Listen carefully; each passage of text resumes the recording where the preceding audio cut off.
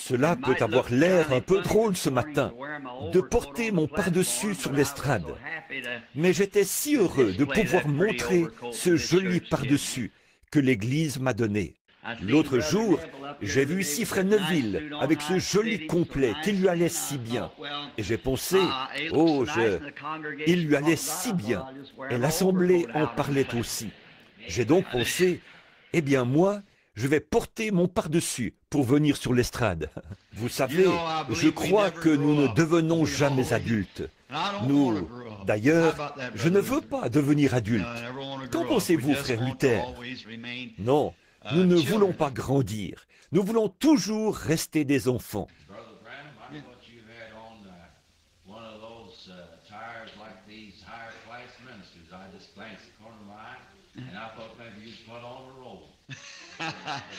C'était le jeu pour ce beau par-dessus. Je dois dire que c'est, c'est, que j'en avais vraiment besoin. Et c'est le meilleur que j'ai jamais eu. Et je l'apprécie vraiment beaucoup. Frère Roy Robertson, je ne sais pas s'il est ici ou non ce matin, mais il a eu quelque chose à dire quant au choix de ce par-dessus. Il a vraiment fait un bon choix.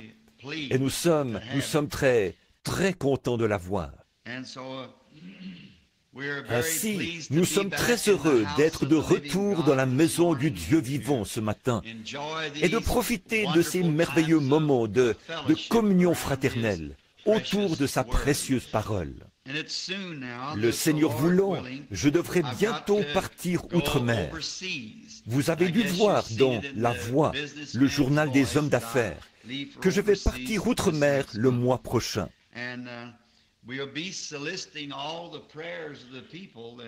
Et nous vous invitons tous à prier pour nous pendant notre absence. On dirait que mes réunions sont meilleures outre-mer, que cela accroche mieux là-bas. En Amérique, je disais à frère Mercier que j'ai écouté, d'abord, il m'a donné un tourne-disque. Et puis, sur celui-ci, il y avait des disques de certains de mes sermons. C'est là que j'ai réalisé que si jamais quelqu'un m'écoutait, cela résulterait de la grâce de Dieu à leur égard. Car je me suis dit que j'aurais quand même pu faire un peu mieux. Oh, et voici qu'il enregistre aussi ça. Un, un petit... Vous pouvez bien couper cette partie, voyez-vous. Il a tourné son pouce contre le bas. Je pense que cela signifie qu'il va couper cette partie-là. Mais je, je vous le dis, j'ai été tellement surpris. Je, la prédication la plus médiocre que j'ai jamais entendue de ma vie, c'était bien la mienne. Vraiment, sur, ce disque-là. Et cela m'a rendu si nerveux que je n'ai même pas pu manger mon dîner. Je suis tombé malade et j'ai dû quitter la table. Je n'ai pas pu dormir cette nuit-là. Et hier, je suis allé au Kentucky avec Frère Wood. En revenant, j'ai dit, Frère Wood, je ne sais pas comment je m'y prends pour qu'une personne vienne m'entendre parler. C'est si, si médiocre. Et je ne fais que me répéter.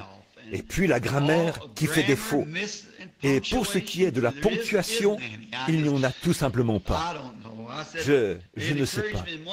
J'ai dit, dans un certain sens, cela m'a encouragé parce que j'ai vu que Dieu doit être là derrière. Sinon, personne ne viendrait. C'est vrai. Alors que je parlais à frère Collins, je suppose qu'il est quelque part dans le bâtiment. Je lui ai dit, il est venu me trouver et je lui en parlais. J'ai dit, frère Collins, en vérité, j'ai dit, il y a près de 30 ans que je suis prédicateur. Je devrais certainement savoir ce qu'est un sermon. Et j'ai dit, c'est le plus médiocre que j'ai jamais entendu. Lui-même est prédicateur méthodiste. Et son frère est un homme assez important dans la dénomination méthodiste. Et il a dit, eh bien, je vais vous dire, frère Branham, il se peut que votre ponctuation est et que vos phrases ne se terminent pas comme il faut, et ainsi de suite. Mais avez-vous déjà pensé à cet homme qui a prêché le jour de la Pentecôte qui ne savait même pas signer son nom et qui s'appelait Pierre? Il a dit, je peux m'imaginer que son discours n'était pas ponctué tout à fait correctement. Mais voyez-vous, ce qui incite un homme à regarder à cela, ce sont ces émissions radiophoniques qu'on entend, où tout est déjà sur papier. Vous voyez, ils, ils peuvent donc mettre cela au net, avec la ponctuation et tout, parce qu'ils le lisent. Et je me suis tenu auprès de Charles Fuller, alors qu'il prêchait derrière une mangeoire à peu près grande comme ça qu'il utilisait comme estrade. Et tout ce qu'il a dit, il ne faisait que le lire. Point 1, point 2, point 3, point 4, et ainsi de suite, jusqu'à ce qu'il ait tout dit. Et cela était chronométré, déjà censuré pour la radio et tout. Pour ce qui est de Billy Graham, j'ai aussi vu ses prédications. Et tout ce que lui et les autres font, c'est se tenir là et parler. Lisons simplement cela aussi vite que possible. Tout est déjà préparé. Je pense qu'à ce moment-là, vous pouvez avoir une ponctuation correcte. Mais le problème avec moi, c'est que je n'arriverai même pas à le lire. Si c'est moi qui l'écrivais, je suis sûr que je ne pourrais pas le relire. Ainsi, c'est sa grâce étonnante, n'est-ce pas, en voyant ce qu'il peut faire pour nous. Mais je suis reconnaissant de pouvoir commencer maintenant, de terminer une année et en recommencer une nouvelle. J'ai écouté une ligne de prière et je n'étais pas non plus satisfait de la ligne de prière en écoutant cela. C'est la première fois que je m'écoutais apporter un message et assurément j'ai été surpris. La ligne de prière ne va pas comme il faut. Et je pense qu'il viendra un temps où il faudra que les gens sachent tout en ce qui les concerne avant qu'ils croient. Dès le premier de l'an, je veux donc changer cela. Je commencerai simplement la ligne de prière. Et lorsque le Seigneur me parlera au sujet de quelqu'un, me disant que telle personne est en dehors de la ligne ou que quelque chose ne va pas, c'est sur cette personne-là que je m'arrêterai. Les autres passeront sans s'arrêter. Autrement, on ne peut pas en faire passer suffisamment, voyez-vous. Les gens connaissent leur état. Ils savent qui ils sont et ce qu'ils ont fait. Mais s'il y a quelque chose en eux qui n'est pas tout à fait en accord avec Dieu, alors ce sera le moment de s'arrêter sur cette personne, voyez-vous, et de se dire, voici la personne en question. Ainsi, je crois qu'il y aura des modifications qui se feront, frère Léo, comme j'ai entendu cela. Et j'espère que Dieu nous viendra en aide dans l'année à venir. Je crois que ce soir, il y aura service ici au tabernacle. Et je dois être là-bas, sur la route 62, avec le frère Raddle, ce soir. J'ai cru comprendre qu'il y aura un service de longue veille ici. Frère Raddle m'avait invité à participer à son service de veille. Mais j'ai pensé que peut-être je reviendrai au tabernacle pour ce soir-là, étant donné que j'essaie toujours d'être au tabernacle la, veille du Nouvel An. Je voulais donc revenir pour être ici avec les frères. Aussi ai-je fait un genre de compromis. Je serai avec le frère Raddle ce soir, là-bas sur la route 62, à l'ancien club 62, qu'on a transformé en église. Et mercredi soir, je reviendrai ici pour le service de longue veille. Puis jeudi, nous partirons pour Chicago et nous continuerons pour aller ensuite à Philadelphie et de là, outre-mer. Et ce matin, nous ne voulons pas vous retenir trop longtemps, parce que c'est, nous avons encore des entrevues, et les services vont continuer. Oh, dites donc, depuis le dernier service de prière ici, je suis très reconnaissant des résultats qui sont ressortis du dernier service de prière. C'est vraiment merveilleux ce que le Seigneur peut faire lorsque son peuple s'assemble. Ceux qui sont, s'ils invoquent le nom du Seigneur, s'ils se rassemblent, je crois que c'est ainsi qu'il est écrit, et prient, alors Dieu les exaucera des cieux. Inclinons donc nos têtes un instant, tandis que nous nous tournons vers lui, afin qu'il nous donne l'inspiration nécessaire pour ce message. Seigneur, de génération en génération, tu as été notre refuge et notre force. Nos ancêtres, avons-nous, se confié en toi, et ils n'étaient point confus. Ils ont cru en ton saint nom. Ils parurent comme des lumières brillantes. Et nous considérons leur vie Parce que, comme le poète l'a dit, elle laisse des empreintes sur les sables du temps. Nos départs laissent derrière nous des empreintes de pas sur les sables du temps. Alors nous voyons que ceux qui se sont confiés en toi, à coup sûr, s'en sont bien sortis. Quoiqu'ils aient traversé bien des eaux profondes et, de grandes épreuves et des persécutions, malgré tout, tu finissais toujours par les en faire sortir plus que vainqueurs, parce que c'est ce que ta parole promise a dit que tu ferais. Et notre prière aujourd'hui, c'est que tu veuilles bien bénir cette petite église, bénir son pasteur, notre brave frère Neville, ainsi que sa famille. Nous te demandons d'être avec lui au cours de cette nouvelle année, de loindre d'une façon plus grande encore, et, et de le bénir à tous égards. Accorde une pleine santé à sa famille, aux tout petits qui grandissent. Garde Fresneville robuste et en bonne santé. Bénis également cette Église et chacun de ses membres. Le conseil d'administration, combien nous les aimons. Ce sont vraiment de vaillants hommes de Dieu. Et le conseil des diacres, eux aussi sont des vaillants serviteurs. Et tous les gens qui viennent ici, nous sommes reconnaissants pour eux, Seigneur. Cela réchauffe le cœur de voir que ce petit étang et ce petit carré de mauvaises herbes qui se trouvaient là au coin de la rue il y a bien des années ont été transformés en un phare pour le royaume de Dieu. Et je prie au Dieu qu'il reste debout jusqu'à ce que Jésus revienne. Puissent beaucoup de nobles âmes qui se sont trouvées ici Seigneur, apparaître en ce jour-là, lavé dans le sang de l'agneau. Accorde-le.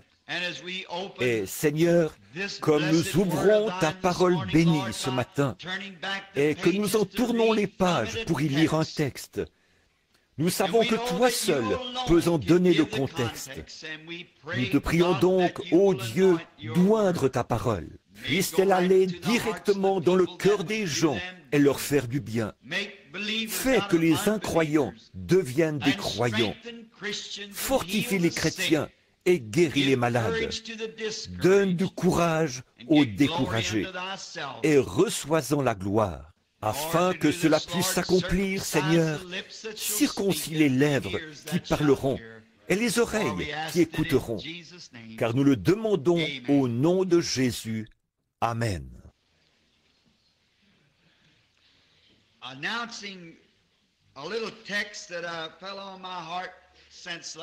uh. Voici un petit sujet que j'ai à cœur depuis dimanche dernier. Je parlais des mages venus pour voir Jésus et de l'étoile qu'ils ont suivi depuis l'Orient. En étudiant cela, je suis tombé sur un passage de l'Écriture et, comme je n'ai pas pu être ici la veille de Noël à cause d'un service dans une prison, j'ai pensé parler aujourd'hui du sujet suivant. Pourquoi la petite Bethléem? Et je désire lire dans le livre du prophète Michée, l'un des petits prophètes, le verset 2 du chapitre 5. Nous y lisons ceci.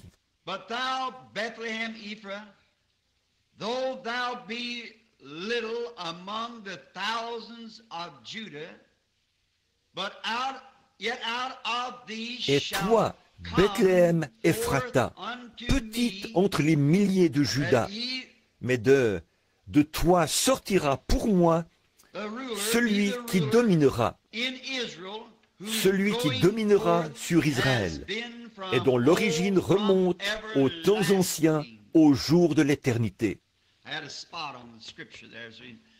Il y avait une tache sur le verset. Voilà pourquoi je n'arrivais pas à déchiffrer ce mot. Of all of the places that is in Palestine and in there is so many great cities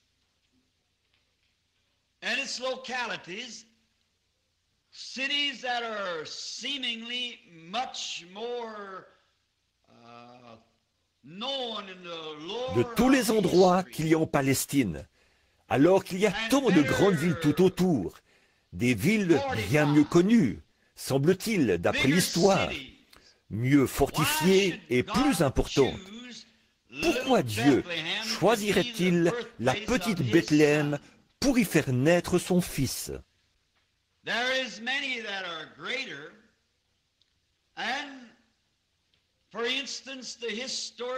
Beaucoup sont plus importantes. Par exemple, le lieu historique de Jérusalem, la fière Jérusalem, la grande capitale, l'une des plus grandes villes de Palestine. Nous nous demandons alors pourquoi Dieu choisirait la toute petite ville de Bethléem comme lieu de naissance pour son fils. Mais comme les Écritures l'ont déclaré, ce que Dieu a résolu s'accomplira. Et si Dieu n'avait pas déterminé d'avance qu'il en serait ainsi, jamais il n'en aurait été ainsi.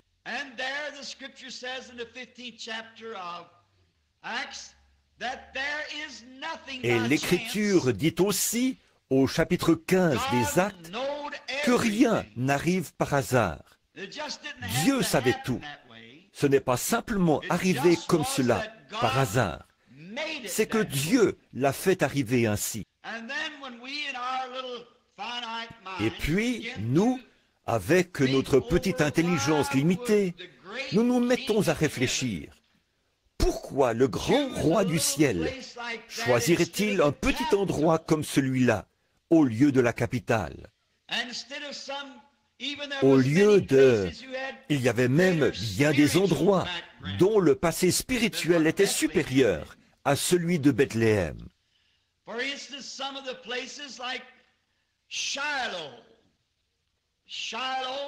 Certains endroits comme par exemple Silo. Silo était un ancien lieu d'adoration pour Israël. Chaque année, tous venaient à cet endroit important où se trouvait l'arche de l'Éternel. On pourrait donc se demander pourquoi il ne pourrait pas naître à Silo. Il y avait encore Gilgal, un autre endroit spirituel un important lieu d'adoration. Alors, pourquoi Dieu ne l'a-t-il pas laissé naître à Gilgal?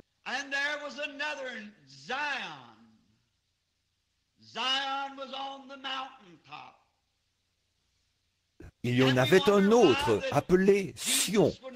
Sion, sur le sommet de la montagne. Et alors nous nous demandons pourquoi Jésus n'est pas né dans Sion qui avait été reconnu historiquement comme un lieu où Dieu, d'âge en âge, avait béni son peuple.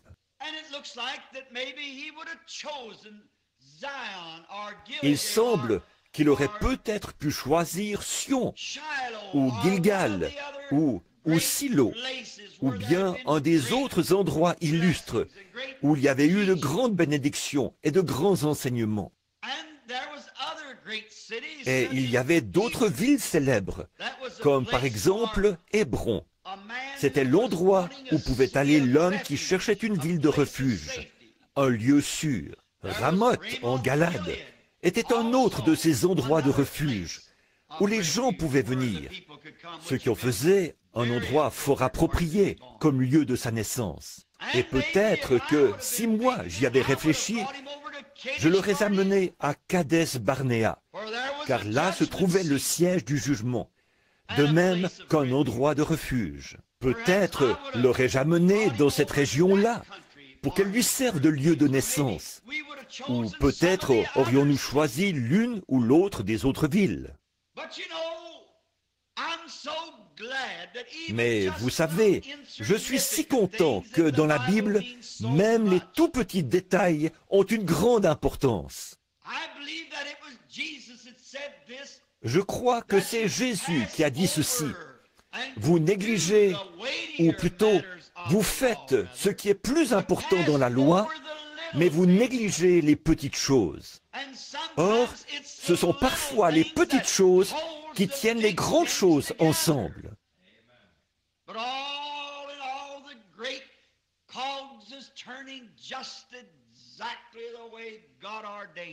Mais tout considéré, les grands rouages s'engrainent exactement comme Dieu l'a voulu. Jamais un seul ne fera défaut. Dieu a prédestiné toutes choses et tout doit se placer exactement comme prévu.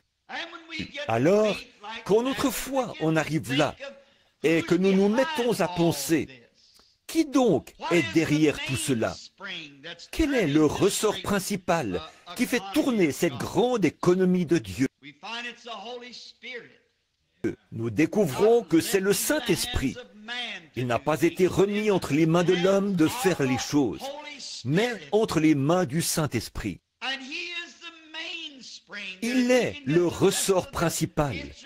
Et s'il peut réunir les autres instruments, tout fonctionnera parfaitement et indiquera l'heure exacte de Dieu. Nous voyons cela. Et cela nous porte à réfléchir lorsque nous considérons ces grandes choses et comment nous voudrions qu'elles soient.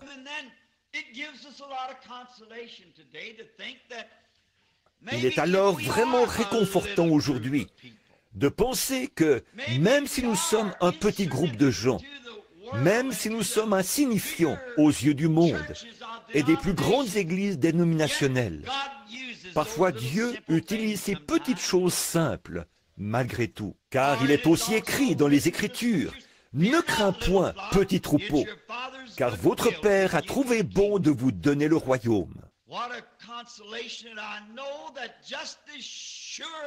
Quel réconfort pour moi de savoir qu'aussi sûr que Jésus devait naître dans la petite Bethléem.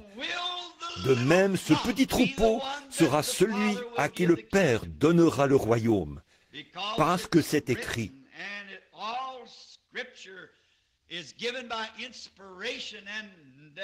Et que toute écriture est inspirée, et que les écritures ne peuvent être anéanties. Elles doivent s'accomplir. Nous avons donc l'espoir de savoir que, que c'est un petit troupeau qui recevra le royaume, un fidèle petit troupeau de croyants. J'espère être l'un de ces troupeaux, ou être dans ce petit troupeau, devrais-je dire. Et puis, nous connaissons l'histoire. La plupart d'entre nous sommes au courant du récit décrivant l'entrée d'Israël en Palestine par une promesse de Dieu.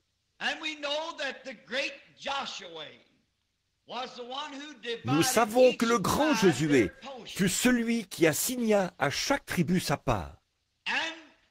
Et alors, certainement que si nous avions le temps de rester sur ce sujet d'ici à 6 heures ce soir, et d'examiner ces choses dans l'ordre pour en faire ressortir toute la signification. Mais cela ne nous est pas possible, car nous n'avons que 30 ou 40 minutes. Nous ne pourrons donc toucher que les points principaux, espérant que le Saint-Esprit placera, pour vous qui lisez la Bible, le reste dans votre cœur au fur et à mesure que nous avançons. Saviez-vous que ces portions, telles que Josué les a assignées, là en Palestine, ont été données par inspiration et les mères israélites de ces patriarches, lorsque le bébé était en train de sortir, qu'elles étaient là dans les douleurs, en train d'accoucher de leur enfant, elles ont prononcé l'endroit précis où ces patriarches s'établiraient et se trouveraient dans les derniers jours. Vous parlez d'inspiration. Cette Bible est inspirée. Peu importe combien petit, chaque petit passage de l'Écriture a une place tellement importante dans la, dans la grande image.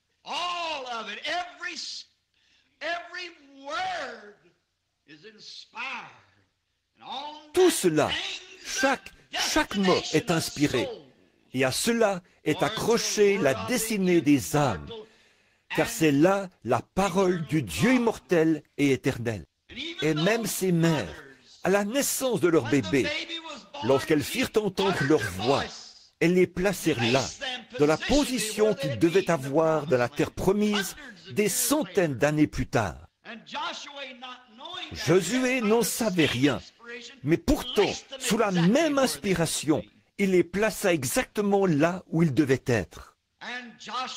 Et Josué, en faisant le partage, a donné une part à Judas. Si vous regardez sur la carte géographique, vous remarquerez que cela se trouve juste à l'ouest de la mer de la Plaine. Il y a quelques kilomètres au sud de Jérusalem, la capitale.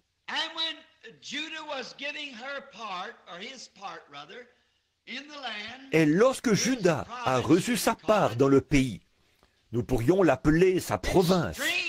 C'est étrange, mais cette petite ville ne fut même pas mentionnée. Bethléem.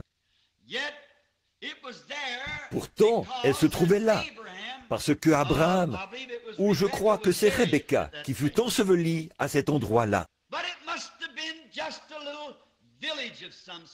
Mais cela ne devait être qu'un tout petit village, parce que si vous lisez dans Josué 5, vous verrez qu'il y avait 115 villes principales qui appartenaient à Juda, sans compter les villages et les toutes petites villes.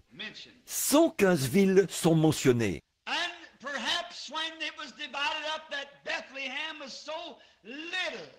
Peut-être qu'au moment du partage, Bethléem était tellement petite, avec peut-être une ou deux petites maisons, qu'elle ne fut même pas mentionnée dans l'héritage.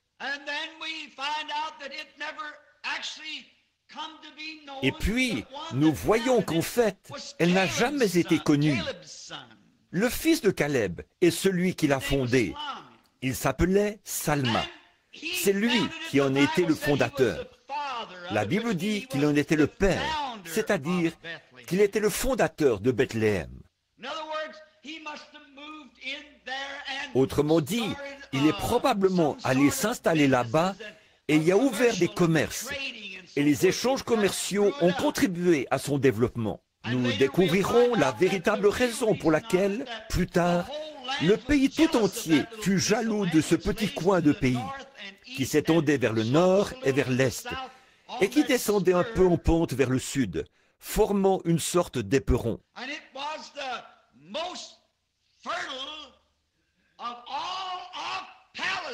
C'était l'endroit le plus fertile de toute la Palestine.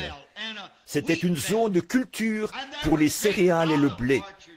Il y avait de grandes plantations d'oliviers et d'autres choses dans cette partie de Bethléem, ou plutôt de la Palestine, là au bout de la province de Juda.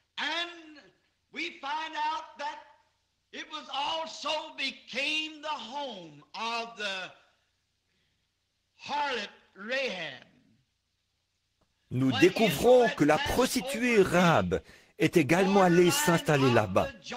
Après qu'Israël eut franchi le Jourdain, qui marquait la frontière de la Palestine, nous connaissons l'histoire de Rahab, la prostituée. Représentons-nous-la quelques instants ce matin comme une, une jeune femme, une belle jeune femme, qui, à cause d'un malheur survenu dans sa vie, avait été contrainte, étant elle-même païenne, avait été contrainte de mener la vie qu'elle avait. Et souvent les gens sont contraints d'avoir la vie qu'ils ont. L'autre soir, je suis allé au pénitencier voir un homme qui purgeait une peine. Je l'ai pris par la main et je lui ai parlé. Je lui ai dit, pourquoi donc avez-vous fait une chose pareille? Et en me tenant la main, il s'est mis à parler. Il avait été contraint à faire ce qu'il avait fait. Et alors, je lui ai dit, c'est que vous avez laissé cette chose vous contraindre à faire cela. Vous n'êtes pas obligé de faire cela. Aucun homme n'est forcé de boire. J'ai dit, je suis moi-même nerveux, mais il n'est pas nécessaire d'avoir cela. Et cette jeune femme, dès qu'elle eut entendu parler d'Israël pour la première fois, et de ce Dieu qui était un, un Dieu qui exauce les prières, pas simplement un Dieu compris, mais un Dieu qui répond ensuite. Lorsqu'elle a entendu parler d'un Dieu qui accomplissait des miracles, qui pouvait faire des miracles, qui avait asséché la mer et fait pleuvoir du pain du ciel, alors son cœur s'est mis à trembler. Et alors, lorsqu'elle a entendu son premier message de la bouche de deux prédicateurs qui s'étaient rendus là, rapidement, elle l'a accepté de tout son cœur. Et un fil cramoisi fut attaché à sa fenêtre pour servir de protection à sa maison, parce qu'elle avait reçu le message. Je pourrais ajouter quelque chose ici. Saviez-vous qu'elle était un type de l'Église des nations? Elle faisait partie des nations. Et elle était un type de l'Église des nations. Quand nous avons entendu le message, nous menions tous une vie de prostitution spirituelle, commettant de la fornication spirituelle contre le Dieu du ciel, dans toutes sortes de choses, toutes sortes de dénominations et de religions. Mais lorsque nous avons entendu dire qu'il y avait un Dieu qui vivait toujours et qui pouvait accomplir des miracles, rapidement, nous avons reçu le message. Et c'est à ce moment-là qu'a été appliqué le sang du Seigneur Jésus, ce que représentait le cordon de fil cramoisi. Et sans aller trop dans le détail, vous savez qu'elle l'a suspendu à sa fenêtre à la vue de tous. Le sang était exposé publiquement. C'est ainsi que le sang doit être exposé publiquement, suspendu au mur extérieur pour montrer que quelque chose s'est passé à l'intérieur. Il en est de même pour le véritable croyant en Christ ce matin. À l'extérieur se trouve, bien en vue, le sang du Seigneur Jésus, ce qui démontre que quelque chose s'est passé à l'intérieur. Et de ce fait, quand la colère a été déversée et que les trompettes ont commencé à sonner, Dieu a regardé d'en haut et a vu ce cordon de fil cramoisi suspendu là en commémoration. Il s'est toujours plu à passer par-dessus le sang. Lorsque je verrai le sang, je passerai par-dessus vous. Il l'a vu. Et au moment de la secousse, lorsque le Saint-Esprit a fait gronder la terre et crouler ses murs d'environ six mètres d'épaisseur, pas une seule pierre n'est tombée de l'endroit où était attaché ce fil. Cela montre la protection d'un Dieu véritable vis-à-vis d'un croyant véritable. Peu importe dans quel état vous êtes lorsqu'il vous trouve, vous n'avez qu'à accepter ce cordon cramoisi. Il est tissé au travers de la Bible. Nous voyons ensuite qu'après avoir été recueillie, comme si elle était une Israélite, elle est tombée amoureuse d'un homme qui était un capitaine et un prince en Juda. Il était capitaine des armées israélites. Il s'appelait Salmon, comme le roi Salomon. Il était donc capitaine et elle eut une idylle avec ce capitaine qui était prince de Juda. Et elle finit par l'épouser. Et lorsque la distribution des biens fut réglée pour les Israélites, son mari bien-aimé et elle s'établirent à Bethléem. Maintenant, vous commencez à y voir clair, n'est-ce pas? Voyez-vous, cela commence à s'éclaircir quand nous voyons qu'elle a vécu à Bethléem. Elle, une épouse des nations unie à un juif. Pourquoi? Parce qu'elle a cru en un Dieu qui accomplissait des miracles.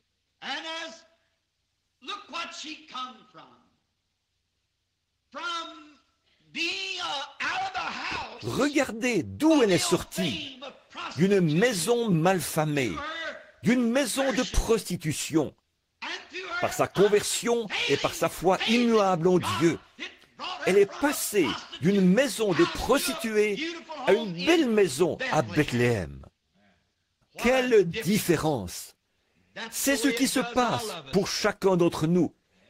D'une maison d'incrédulité, de frustration, d'actes immoraux et tout, à une place, une position en Christ qui est des plus belles. Du ridicule au sublime. Voilà la différence que cela fait grâce à notre conversion. Et avez-vous remarqué qu'elle a épousé un prince de la maison de Judas, un capitaine. Ce capitaine représentait Christ, qui s'est choisi une épouse parmi les nations, passant de la place la plus basse à la principale et à la meilleure du pays. Nous démontrerons un peu plus loin au cours de notre message qu'il en a été ainsi et qu'il ne pouvait pas en être autrement. C'était là un type de l'Église des nations. Et nous voyons qu'ils ont eu une jolie maison à Bethléem, étant donné que Salmon l'avait fondée et qu'elle allait devenir un endroit important avec ses bonnes terres fertiles.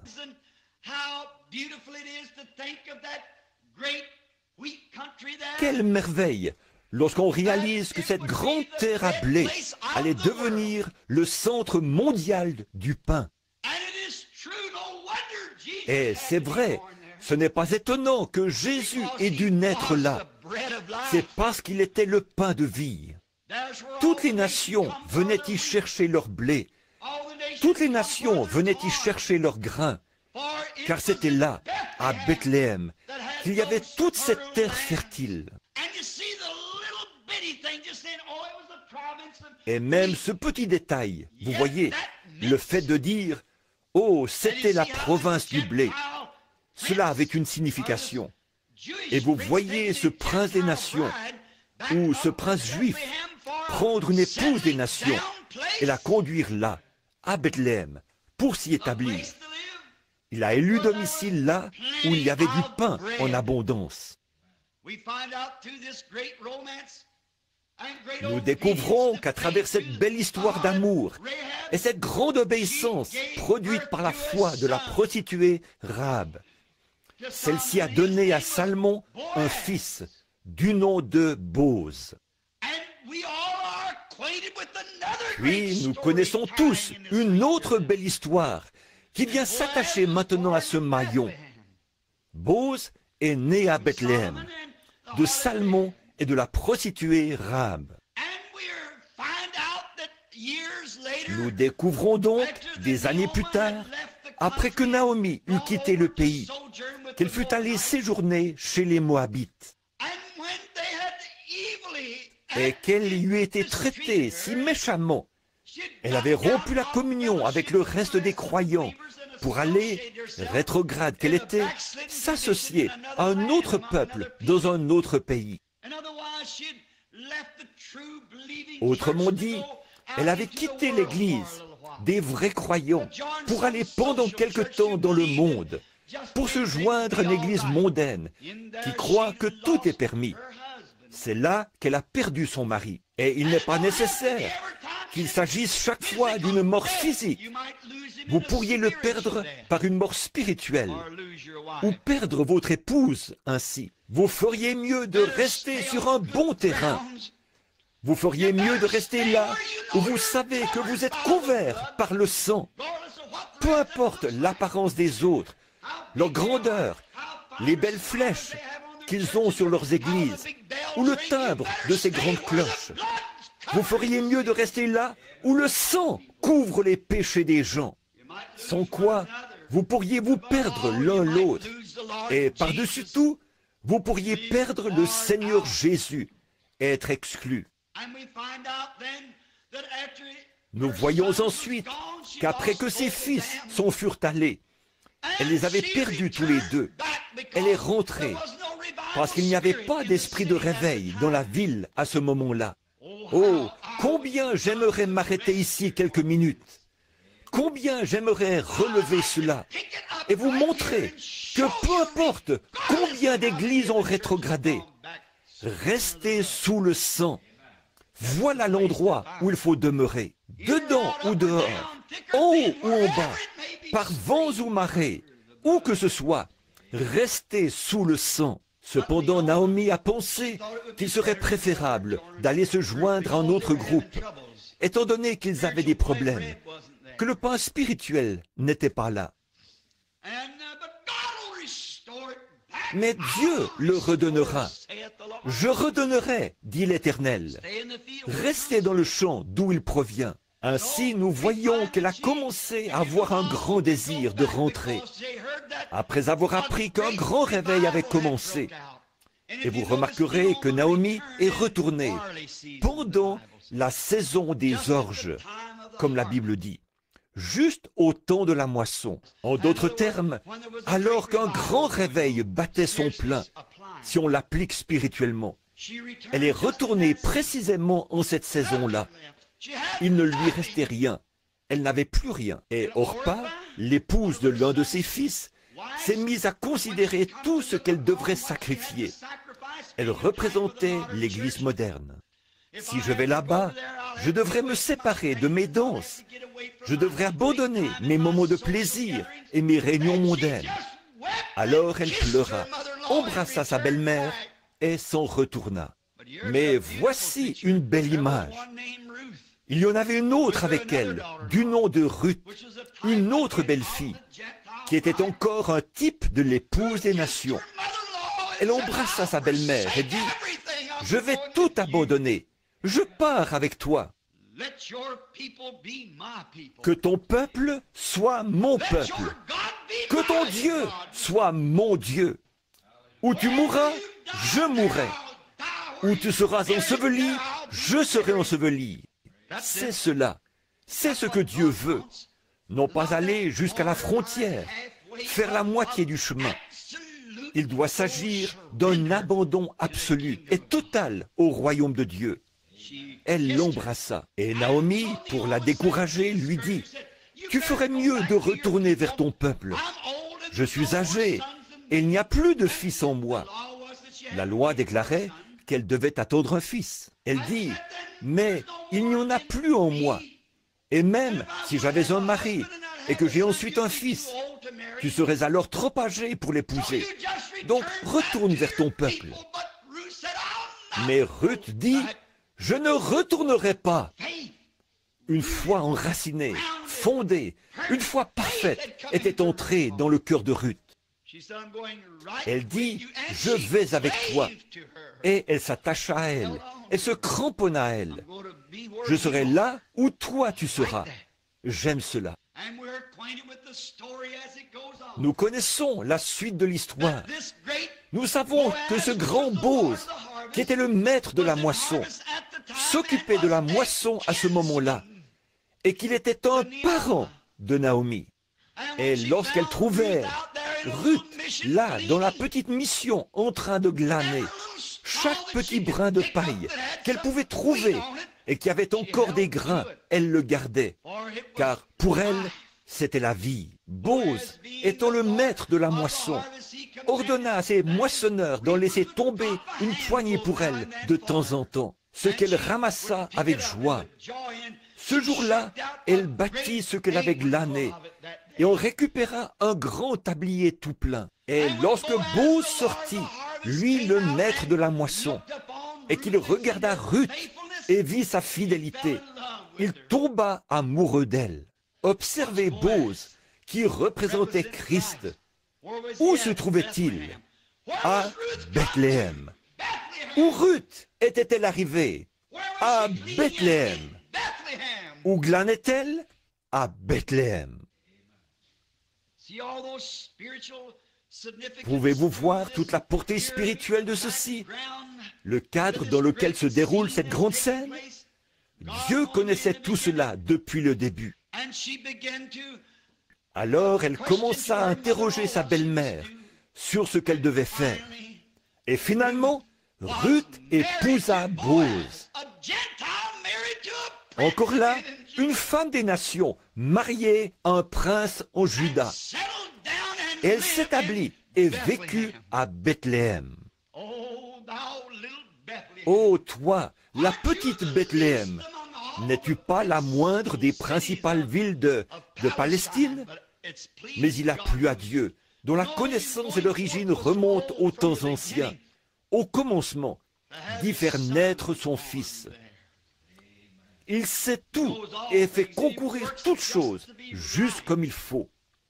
Ruth épousa donc Bose là-bas. Et lorsque Ruth et Bose se sont mariés, si nous avions le temps de nous attarder sur cette belle histoire, l'une des plus belles scènes d'amour de tous les âges, lorsque Ruth et Bose se sont mariés, et vous rappelez-vous? Oh, arrêtons-nous juste une minute ici. C'est simplement trop bon pour laisser passer cela. Ruth était une femme des nations. Elle n'avait pas d'héritage avec les Juifs, tout comme nous, des nations, n'avions pas d'héritage. Naomi était donc celle qui, en fait, devait hériter. Mais puisqu'elle avait perdu tout ce qu'elle avait au début, que tous ses biens avaient été vendus aux enchères publiques, elle avait donc été excommuniée et elle était partie. Alors, lorsqu'elle est revenue, il n'y avait qu'une personne qui pouvait racheter son héritage perdu. C'était le parent le plus proche d'elle. Bose savait cela. Il devait donc trouver un moyen de s'approprier cette jeune fille des nations pour en faire son épouse. Et que lui a-t-il fallu faire? Il lui a fallu acheter tous les biens de Naomi afin d'obtenir Ruth, car celle-ci faisait partie des biens de Naomi. Et le seul homme qui pouvait racheter, c'était quelqu'un de la famille, un proche parent. C'était là la loi de la rédemption. Et le seul moyen pour Christ de racheter la possession d'Israël rétrograde, c'était donc devenir un parent. Et la seule façon pour Dieu de racheter la race humaine, c'était que Dieu lui-même devienne chair. Et Jésus était Dieu qui s'est fait parent de la race humaine. Il était Emmanuel. Il est devenu parent. Il a pris sur lui, non pas la forme d'un ange, mais la forme d'un serviteur qui a lavé les pieds et vécu et les renards avaient des tanières, les oiseaux du ciel avaient des nids, mais lui n'avait même pas un endroit où reposer sa tête. Il a mangé, il a bu, il, a pleuré, il a ri, tout comme les autres hommes. Et il était Dieu, non pas un prophète, il était Dieu. Mais il devait être parent afin de racheter la race humaine perdue. Voici donc Bose dans ce grand type à Bethléem. Et regardez où ce parent est né, ce parent de la race humaine. Il devait en être ainsi. Et alors, lorsque ce noble Bose l'a racheté, il a dû témoigner publiquement du fait qu'il avait racheté tous les biens qu'elle avait perdus.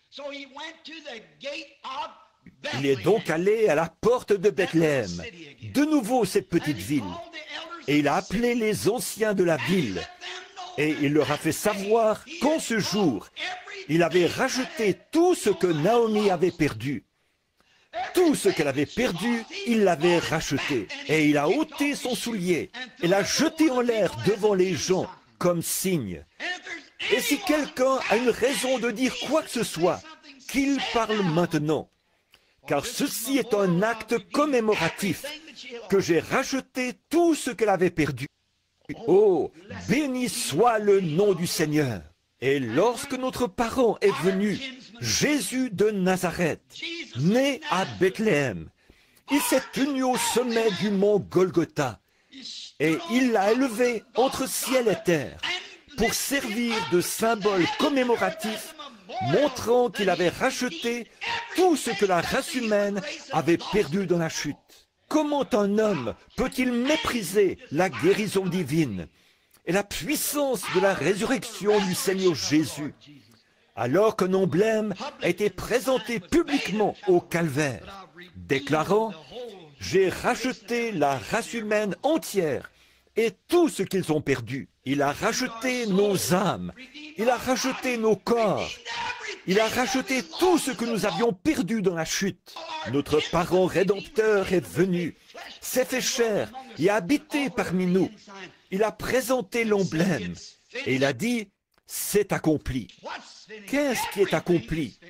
Tout est accompli. Nous sommes simplement en train d'entrer dans notre héritage. Comme les jours passent, nous nous en approchons de plus en plus.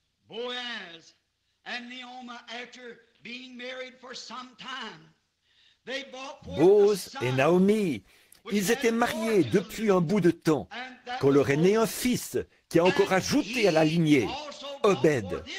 Et lui aussi a engendré son fils, lequel s'appelait Isaïe. Et Isaïe a eu huit fils.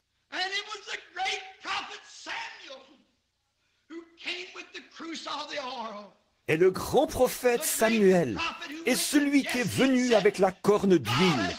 Ce grand prophète est allé vers Isaïe et a dit, Dieu a choisi l'un de tes fils pour diriger et servir mon peuple. Et c'était là derrière, dans les champs, dans un petit enclos où se tiennent les bergers, que l'on fit chercher un petit garçon au teint coloré, maigre d'apparence, David, le plus, le plus jeune. Et Samuel a versé sur lui l'huile d'onction en présence de tous ses frères et de tous ceux qui étaient là, prouvant que Dieu l'avait oint pour roi. Et où était-ce? À Bethléem. Gloire à Dieu dans les lieux très hauts. Ce n'est pas étonnant. À Bethléem, c'est là qu'il était oint pour roi. C'est à Bethléem qu'est né David. Et son plus grand fils, Jésus, devait aussi naître à Bethléem, parce qu'il y avait un lien si étroit entre les deux, son père et son fils. Ce grand-fils n'était pas seulement le fils, mais il était aussi le rejeton et la postérité de David. Il était même avant David et il serait après David. Il était d'éternité en éternité. Mais selon la chair et conformément à toutes les choses qui devaient s'accomplir, il était le fils de David. Il devait naître des années plus tard dans cette même Bethléem, cette petite ville abandonnée. Mais pendant tout ce temps, l'avez-vous remarqué? Il y avait là un grand mystère puissant à l'œuvre que personne ne semblait comprendre. Il en est de même dans la Bethléem de Dieu aujourd'hui. Il y a un, un, signe mystère qui est à l'œuvre et que personne ne semble comprendre. Cela passe au-dessus de la tête des gens. Ils n'ont pas l'air de saisir. Peu importe ce qui est fait ou ce qui est dit. Et la partie mystérieuse de ce qui est fait, les gens regardent et disent, Oh, je pense que c'est en règle. Ils poursuivent leur chemin mais ils ne comprennent pas. Ils ne peuvent pas le saisir. Ils ne peuvent pas le comprendre. Et c'est ce que Dieu faisait à Bethléem, en Judée. Il était à l'œuvre. Toutes ces petites choses avançant pour aboutir à une grande tête. David, oh, quand, petit garçon encore, il a été oint pour roi. Il avait le teint coloré, mais il devait y avoir en lui quelque chose d'authentique qui a plu à Dieu. Il était tout petit. C'était le plus petit de la famille. Les autres garçons étaient de grands hommes, bien costauds, qui auraient fait bonne impression, vêtus d'une robe et portant une couronne sur la tête. Mais Dieu a montré quelle est la chose à laquelle il regarde. Non pas l'apparence extérieure, mais ce qui se trouve à l'intérieur de l'homme. Il a regardé à son cœur. Il savait ce qu'il y avait dans le cœur de David. Peu importe ce qu'il aurait l'air avec une couronne sur la tête. Il savait qu'il avait trouvé en lui un homme qui serait selon son cœur. C'est là ce que David serait, un homme selon son cœur. C'est pour cela qu'il a versé sur lui l'huile d'onction, ou fait verser sur David l'huile d'onction. Le nom David signifie bien-aimé comme ce fut bien représenté en Jésus, le bien-aimé, des années plus tard. Ce fils de David qui devait venir pour accomplir toutes choses qui avaient été promises. Cette petite ville de Bethléem est l'endroit où ces choses se sont passées. C'est sur ces mêmes petites collines de Judée où David avait fait paître ses brebis que bien des années plus tard, les anges ont chanté leur premier Noël sur les collines de Judée qui dominaient Bethléem.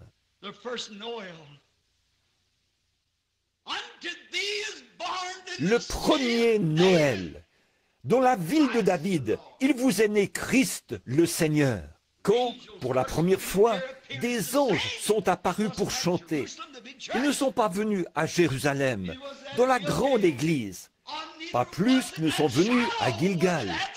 Ils ne sont pas venus à Silo non plus, qui avait été tout ce temps-là le lieu du culte religieux dénominationnel. Mais ils sont venus dans la petite Bethléem, où l'Esprit de Dieu avait agi d'une façon mystérieuse et avait produit quelque chose. C'est là qu'ils sont venus.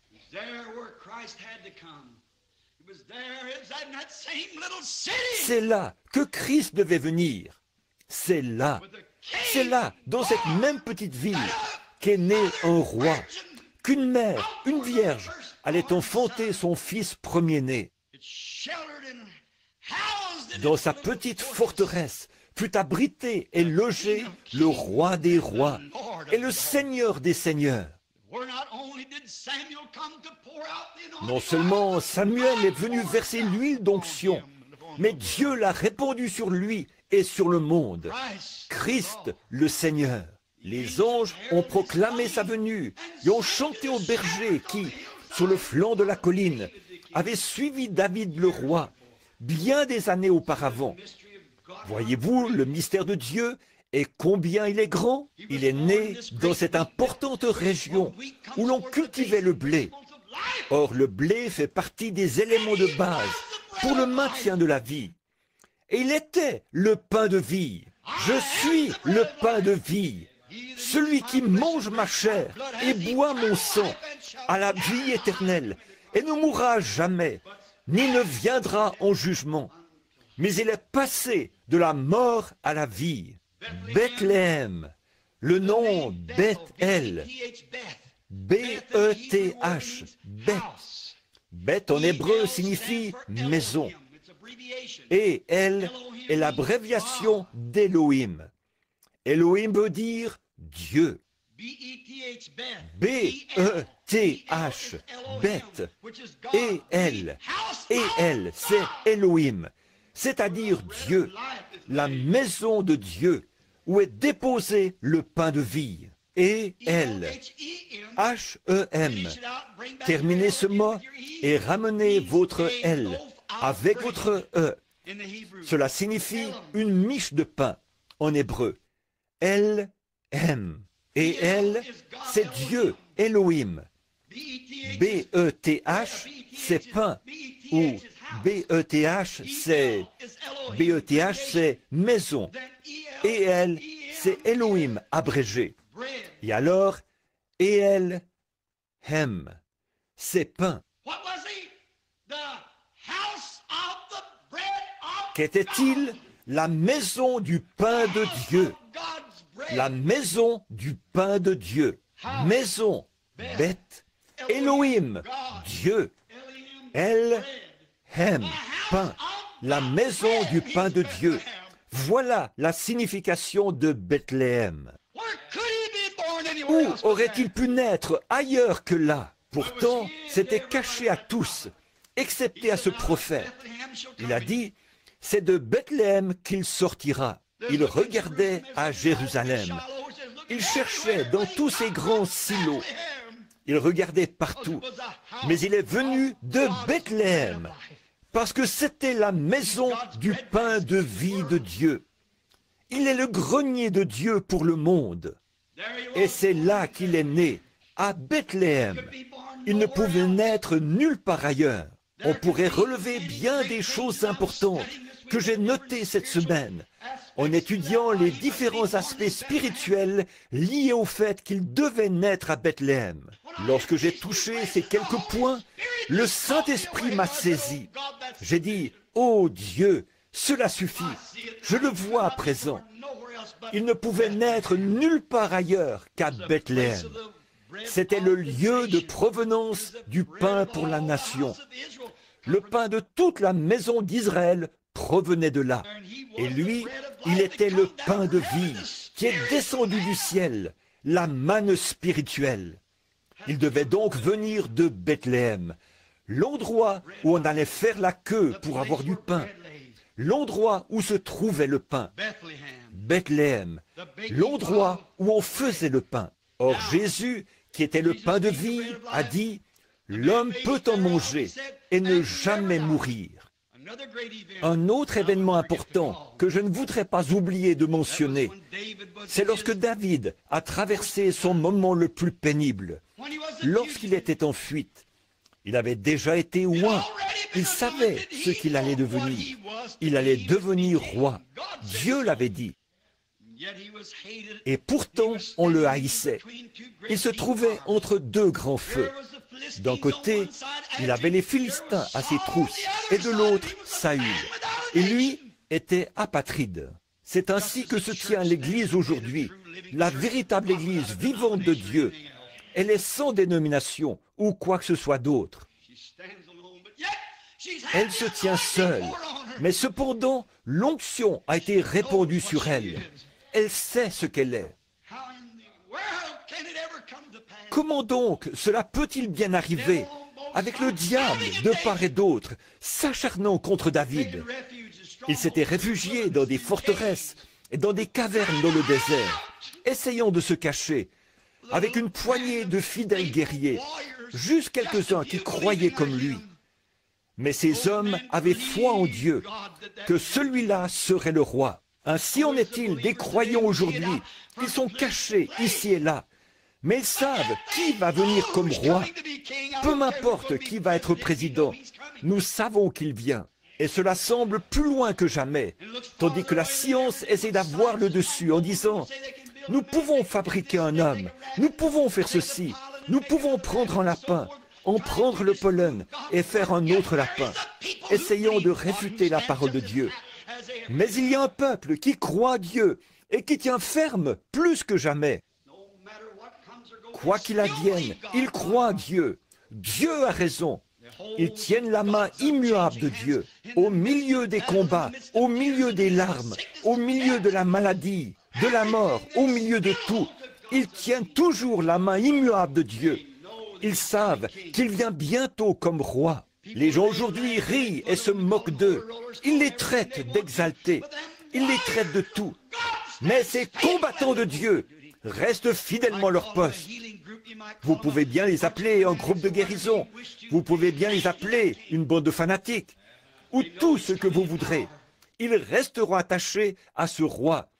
Ils savent qu'il va accéder au pouvoir, qu'ils prennent son nom en vain, qu'ils se moquent, qu'ils rient, qu'ils appellent les gens qui croient en lui des bannis, le rebut. Cela ne les dérange pas le moins du monde. Ils restent fidèlement à leur poste. Ces combattants qui étaient avec David sont restés là, à ses côtés. Qu'un Philistin, que n'importe qui se présente, il fallait se battre, car on les harcelait de toutes parts. Ce pauvre David, tellement troublé, a pensé, mais comment est-ce possible, Seigneur?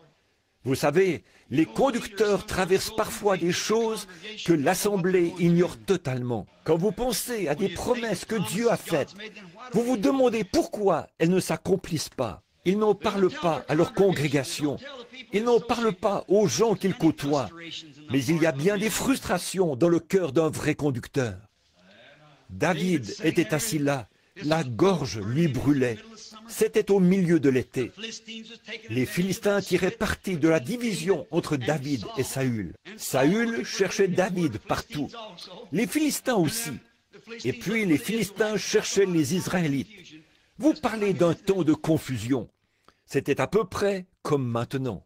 Et David se réfugiait dans tel petit endroit, tel petit abri, ce qu'il pouvait trouver, quelques petits lieux forts.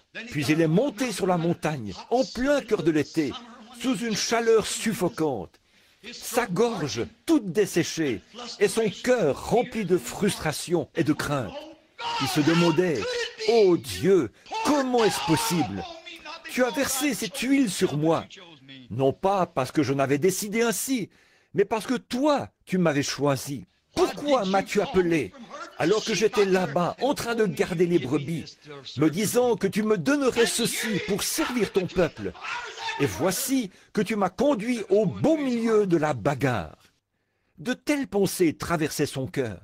Il s'est assis sur la colline, et du haut de la colline, il a regardé. Les Philistins étaient entrés et avaient placé une garnison à Bethléem, le lieu même de sa demeure. Sa petite ville était donc tombée aux mains de l'ennemi. Et avec elle, la maison de son père, la maison d'Isaïe, était en esclavage, sous la coupe des Philistins. Sa propre nation et sa propre Église étaient contre lui.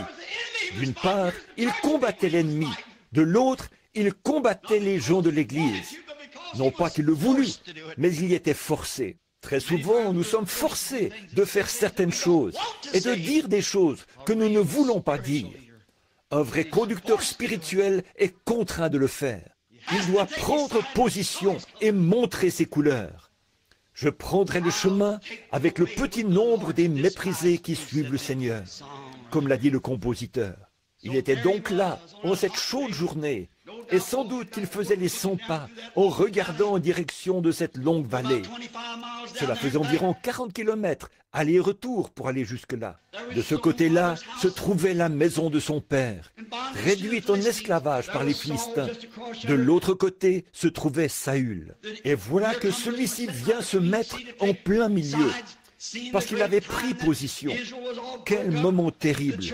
Israël était complètement divisé l'Église était divisée en différentes dénominations, si je peux l'exprimer ainsi. Et voici David qui se tenait de ce côté-ci, ne sachant que faire, et cependant sachant que sur lui reposait l'onction.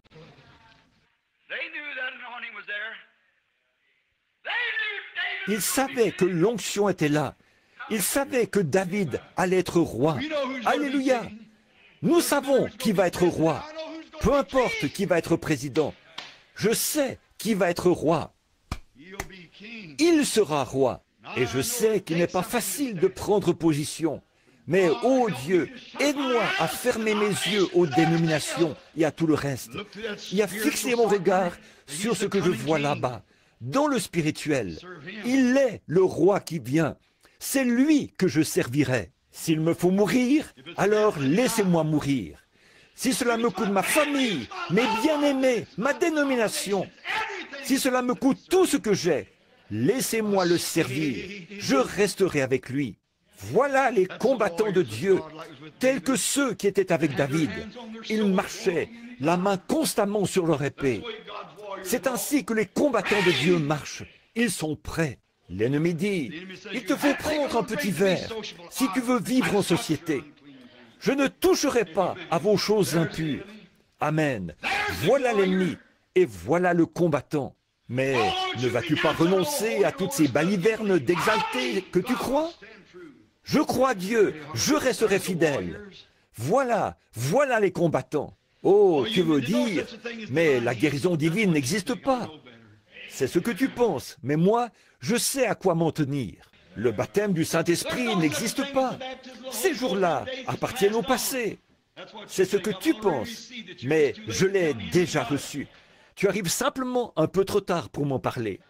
Il savait que l'onction reposait sur ce jeune homme au teint coloré.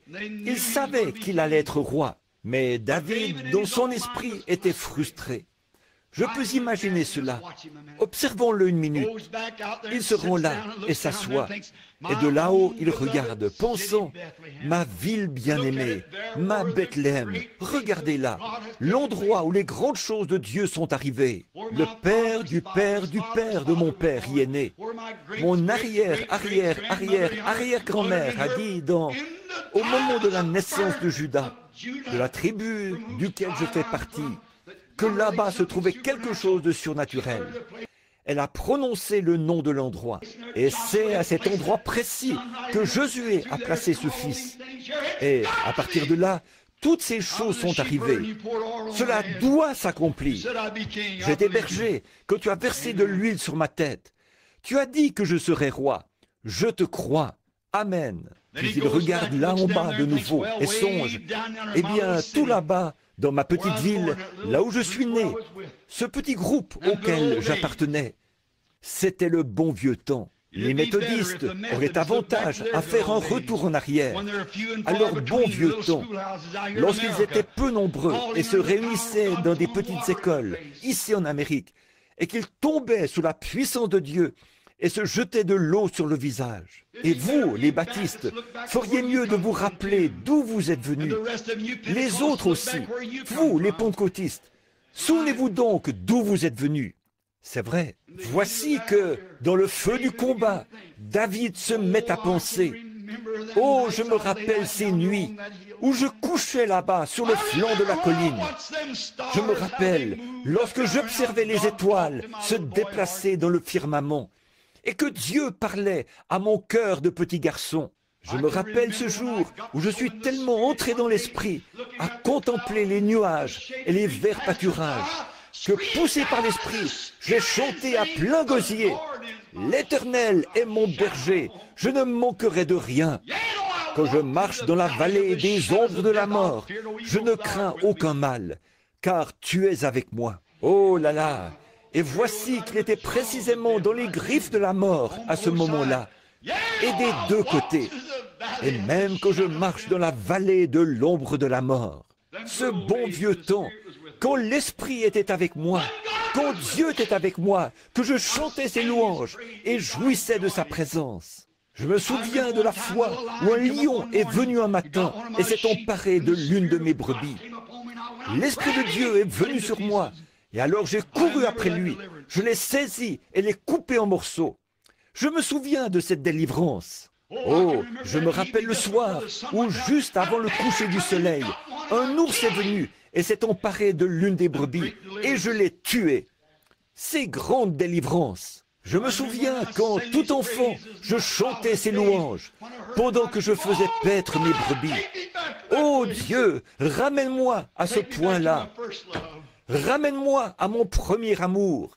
Ramène-moi là-bas et redonne-moi mon bâton de berger. Redonne-moi mon troupeau de brebis. Laisse-moi tout seul là-bas à t'adorer. Il nous arrive de penser à cela, mais nous sommes dans le feu du combat. Il faut faire quelque chose. Il fut un temps où nous étions des garçons, mais nous sommes des hommes à présent. Le combat fait rage.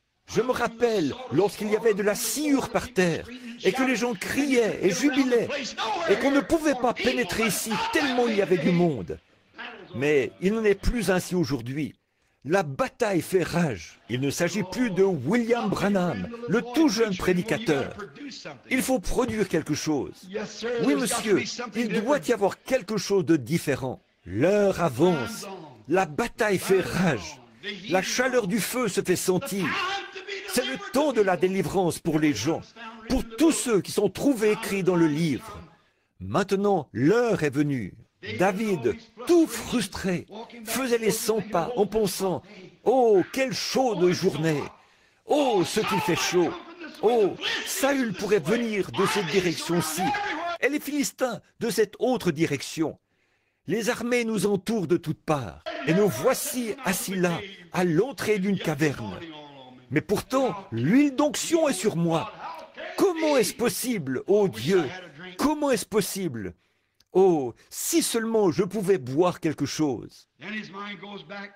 C'est alors qu'il retourne en pensée là-bas, aux portes de Bethléem.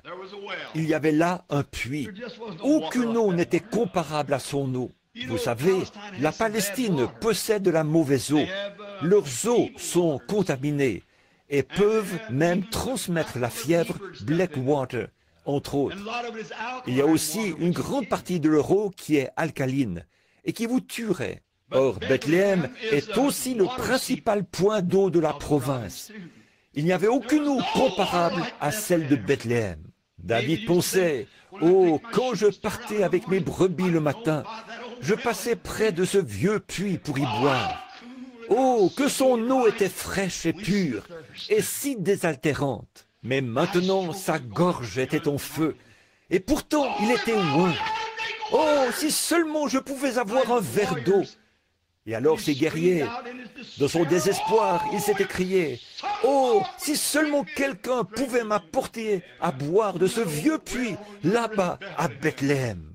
Oh, après avoir rêvé au jour de son enfance et à ses victoires, il se voyait maintenant dans cet endroit, pris entre deux feux, et s'est écrié, Oh, si quelqu'un pouvait m'apporter de l'eau de Bethléem. Ces guerriers ne pouvaient pas lire dans sa pensée, mais frère, ils l'aimaient avec tout ce qu'il y avait en eux. Le moindre de ses désirs était pour eux un ordre. Trois de ces puissants guerriers ont donc dégainé leur épée, se sont glissés hors du camp et se sont frayés un chemin sur une distance de 40 kilomètres. Lorsqu'ils sont partis, David s'est sans doute demandé, où sont-ils? Qu'ont-ils fait? Où sont-ils allés? Ne savaient-ils pas qu'ils risquent leur vie? Ils s'étaient jetés dans les griffes de la mort, avec des embuscades dressées partout, sur une distance de 40 kilomètres. Les épées tournoyaient et les boucliers s'entrechoquaient. Mais leur homme, leur frère, qui, comme ils le croyaient, allait devenir roi, désirait à boire. Oh frère, je me demande si les guerriers aujourd'hui sont prêts à se frayer un chemin à travers le formalisme, les doutes et l'incrédulité, pour exaucer les désirs du Seigneur en sa présence. Le moindre de tes désirs, si c'est l'Afrique, si c'est l'Inde, si c'est dans la rue, peu importe où c'est, le moindre de tes désirs, Seigneur, est pour moi un ordre. La mort n'est rien pour moi. La popularité, mon, ce que je suis, ce que je serai, tout ça n'a aucune importance, Seigneur. Ce qui compte, c'est d'accomplir tes désirs. Voilà les guerriers qui se tiennent à ses côtés. Quand on me traiterait d'exalté, quand on porterait atteinte à ma réputation, quand on me jetterait à la rue, que m'importe? Ton désir est pour moi un ordre. Voilà le véritable soldat. Qu'ont-ils fait Ils ont combattu sans relâche jusqu'à ce qu'ils soient parvenus à ce puits. Ils y ont plongé leur seau ils sont revenus, combattant encore, croisant le fer à droite et à gauche pour se frayer un passage. Finalement, ils sont arrivés devant David et ont dit, Voici mon Seigneur. Oh là là, quoi? Un homme qui était tombé en disgrâce, un homme qui était haï de l'Église, un homme qui était haï du roi, un homme qui était haï des Philistins, un homme qui était haï presque de toutes parts, excepté du petit groupe qui le suivait. Eux savaient qu'il était le roi qui allait bientôt venir. Je sais qu'aujourd'hui nous chantons de beaux chants, nous bâtissons de magnifiques églises, nous avons de beaux cantiques et tout. Nous le louons ainsi. Seulement Jésus a dit, mais votre cœur est éloigné de moi, car vous enseignez des préceptes qui sont des commandements d'hommes. Que le Saint-Esprit vienne et fasse quelque chose dans l'Église, montrant la présence de Jésus-Christ, et ils vous jetteront dehors. C'est en vain que vous m'honorez. Ils adorent, mais c'est en vain que vous le faites, en enseignant comme doctrine des traditions d'hommes. Mais il y a des combattants qui croient en lui. Il y a des combattants qui se tiennent à ses côtés avec une compréhension spirituelle, comme il y en avait là-bas dans la petite Bethléem. Assurément. David a pris ce seau d'eau, l'a regardé, et la Bible dit qu'il l'a répandu par terre.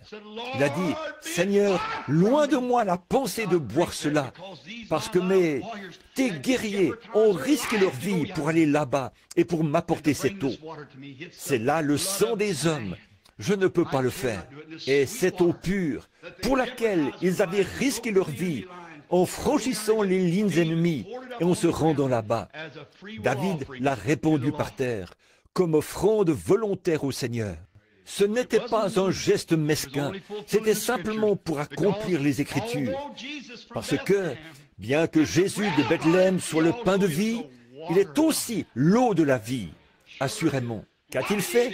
Il était représenté à la fois en David et en ses guerriers, parce qu'il était le roi, et il était le guerrier qui est venu et s'est frayé un passage à travers les lignes de l'ennemi. Amen. Il a conquis la mort, l'enfer et la tombe. Il a répandu son propre sang. afin que s'accomplisse Jean 3, 16. Car Dieu a tant aimé le monde qu'il a donné son Fils unique, afin que quiconque croit en lui ne périsse point, mais qu'il ait la vie éternelle. Ce n'est pas l'eau qui représentait cela qu'il a donné, mais lui-même était cette eau. Autrement, c'était la mort. Pour qu'un peuple qui périssait ait la vie. Comment l'a-t-il fait? Par son propre sang, en le répandant, non pas en le renversant, ce serait un accident, mais il l'a répandu librement au calvaire, après qu'il eut fait une percée à travers toutes les lignes de l'ennemi. Alors, il a répandu son sang avec sa vie, afin qu'il puisse être le grenier pour le monde, et la fontaine remplie de sang, tirée des veines d'Emmanuel. Et les pécheurs plongés sous ce flot perdent toute marque de culpabilité.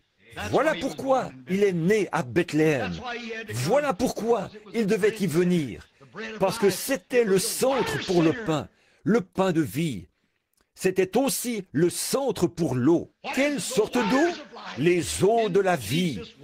Et en Jésus se trouvait à la fois le pain de vie et les eaux de la vie. Par conséquent, il devait venir et naître à Bethléem. Toi, Bethléem de Judée, N'es-tu pas le moindre de tous les grands princes? Tu n'es qu'un simple petit prédicateur. Tu es simplement un petit. Mais de toi sortira celui qui dominera et dont l'origine remonte aux temps anciens. Et il existe depuis toujours et d'éternité en éternité. Voilà pourquoi il est né à Bethléem en Judée cela lui a servi de berceau. Et mon frère, l'endroit où il veut avoir son berceau aujourd'hui, c'est dans votre être, dans votre propre cœur, afin qu'il puisse manifester par vous les eaux de la vie, un peuple qui périt, et le pain de vie, un peuple affamé. Il est le pain et l'eau de la vie. Les deux choses essentielles à la subsistance de l'homme sont le pain et l'eau. Sa promesse est certaine. Inclinons nos têtes un instant.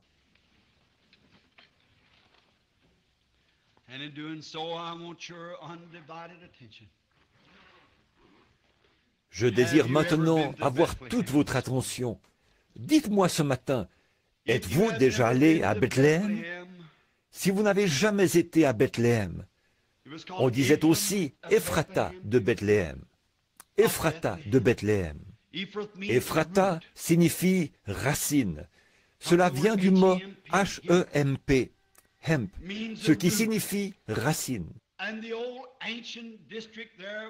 Et cet ancien district s'appelait Ephrata, ce qui signifie que c'est le commencement de la vie. Christ a dit, si vous demeurez en moi, je suis le cep et vous êtes les sarments. Il est la racine de toute vie. Si vous n'êtes jamais allé à Bethléem, Ephrata de Bethléem, venez ce matin, recevez-le comme votre sauveur, et il vous pardonnera vos péchés. Voulez-vous lever la main vers lui en disant, Seigneur Dieu, sois miséricordieux vers moi maintenant, tandis que je viens à Jésus de tout mon cœur. Je viens à ta Bethléem, l'eau et le pain de la vie. Je l'accepte maintenant comme mon sauveur personnel. Que le Seigneur te bénisse, jeune homme, là derrière. Que le Seigneur vous bénisse. Que Dieu te bénisse, petit.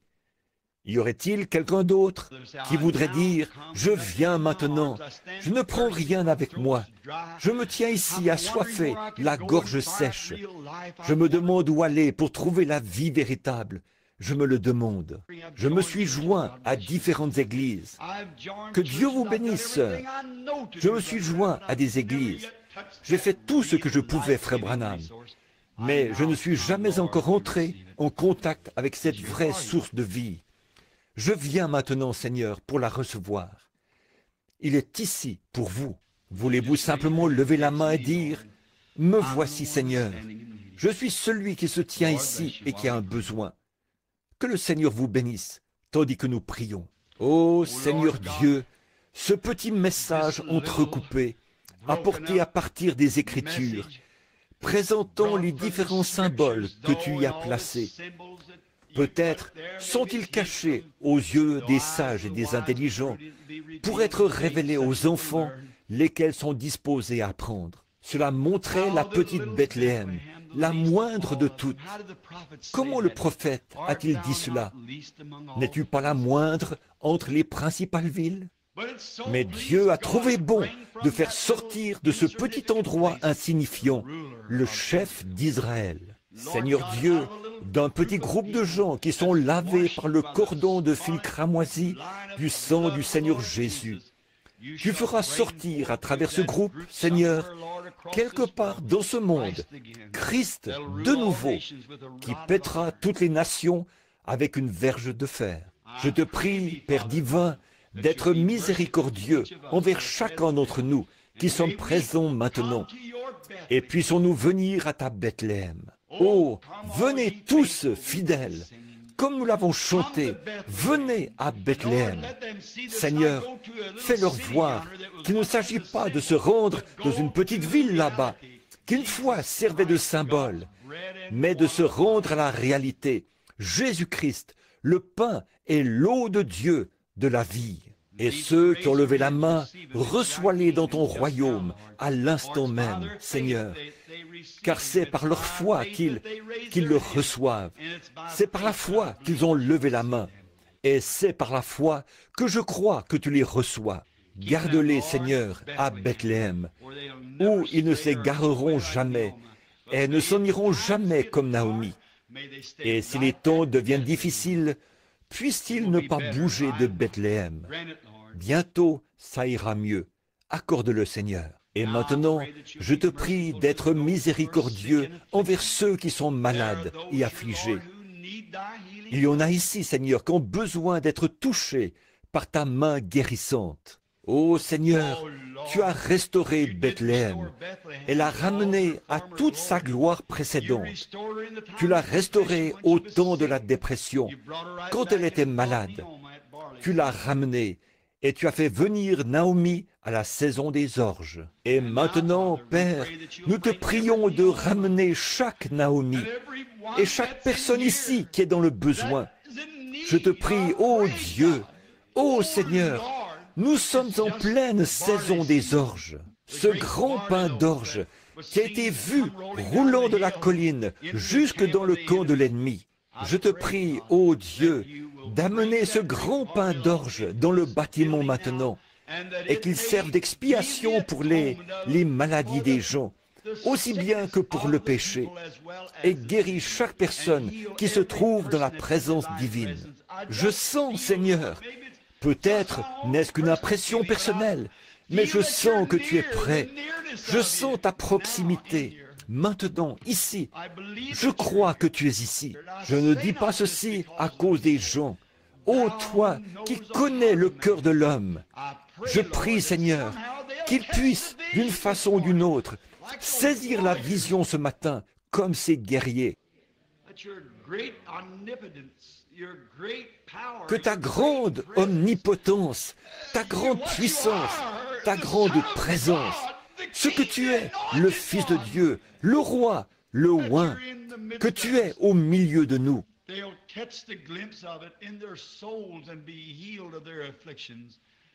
Qu'ils puissent entrevoir cela dans leur âme, être guéris de leurs afflictions. Je prononce cette prière en leur faveur, dans le nom de Jésus-Christ, ton Fils. Amen. Je crois Dieu, toutes ces paroles, je crois que chaque partie de sa parole est divinement inspirée.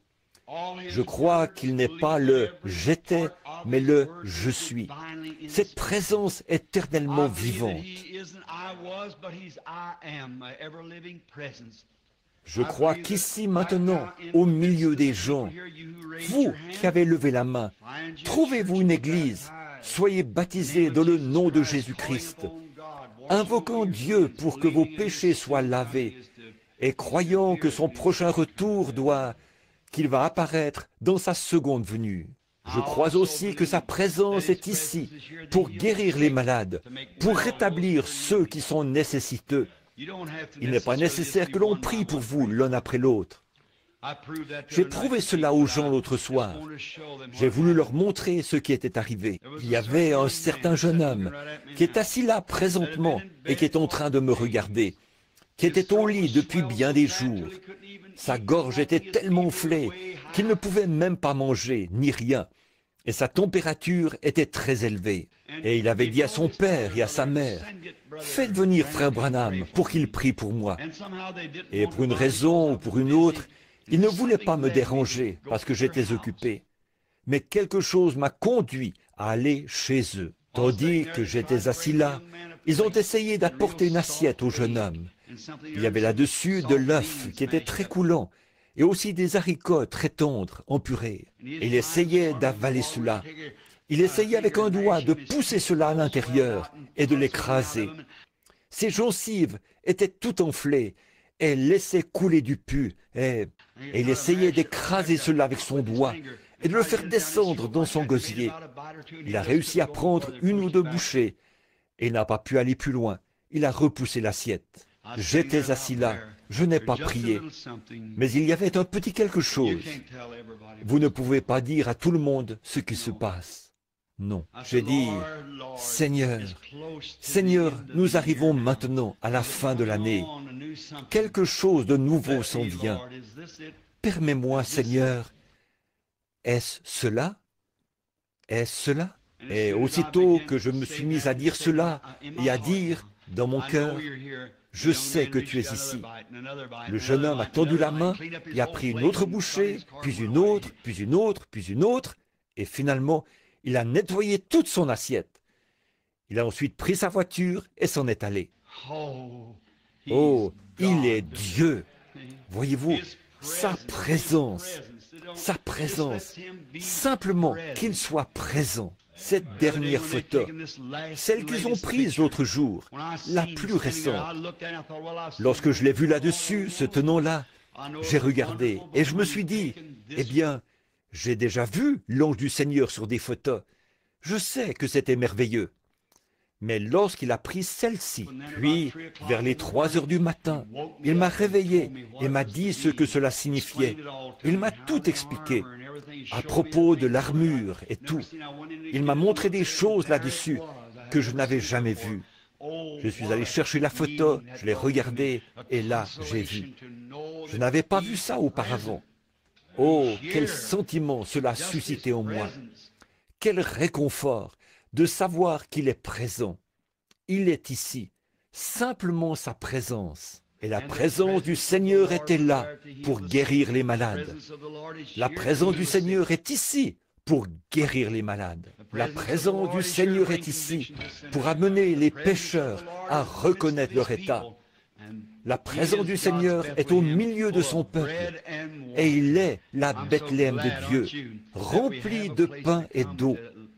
Comme je suis content, pas vous, que nous ayons un endroit où nous pouvons venir pour y manger et vivre pour toujours. Maintenant, que le Seigneur vous bénisse. As-tu quelque chose à dire, frère? Levons-nous un instant ce vieux cantique que nous avons l'habitude de chanter en nous séparant. Prends le nom de Jésus avec toi. Combien aime le Seigneur? Levez la main bien haut. Et maintenant que vous les avez levés, baissez-les et serrez la main de quelqu'un près de vous en disant Que Dieu vous bénisse, pèlerin. Que Dieu vous bénisse. Très bien, très bien. C'est simplement afin que vous puissiez faire connaissance les uns avec les autres. Très bien. Maintenant, regardons vers le ciel et chantons ce cantique. Prends le nom de Jésus avec toi. Enfant de tristesse et de malheur.